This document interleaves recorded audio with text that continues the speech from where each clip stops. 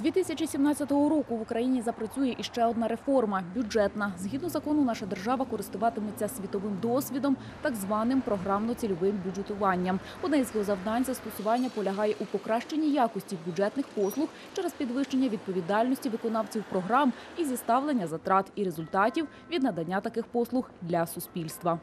Будь-яка програма буде передбачати, е, для чого виділяються бюджетне призначення, що, е, хто буде виконавцем цим цього бюджетного призначення, і який результат буде досягнутий е, після е, ну, якби проведення бюджетних видатків. Тобто е, е, програмно-цільове бюджетування орієнтоване на кінцевий результат досягнення мети.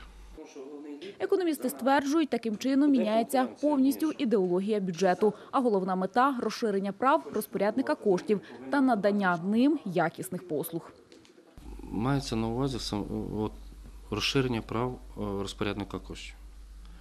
Тобто йому виділяється бюджетне призначення, а він має досягти результату. В той спосіб, е, зрозумійте, я фінансист, я не маю вказувати головному лікарю, як треба лікувати хворих, чи вчителю розказувати, як треба вчити дітей.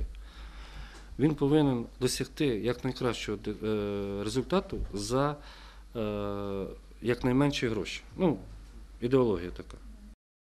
Окрім того, зміни у фінансуванні та використанні коштів стосуватимуться і об'єднаних територіальних громад, вибори у яких відбудуться в грудні. Вони отримують більше свободи у використанні власних бюджетів, але фінансування освіти та медицини тимчасово буде функцією районів. Будуть утворюватися нові органи в об'єднаній територіальній громаді. І зразу ж з 1 січня вам передадеться гроші субвенція медична і субвенція на охорону здоров'я освіту. Зразу вам з 1 січня передадуть.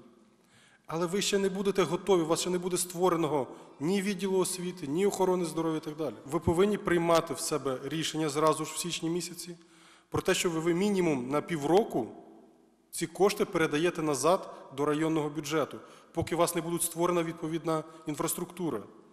Цільове бюджетування – світова практика, якою користуються чимало країн світу, зокрема Молдова та Румунія. До слова, саме на їх прикладі та враховуючи помилки, ця система буде впроваджена в Україні. Світлана Пашенько, Юрія Кобенчук. Новини телеканал Вінниччина.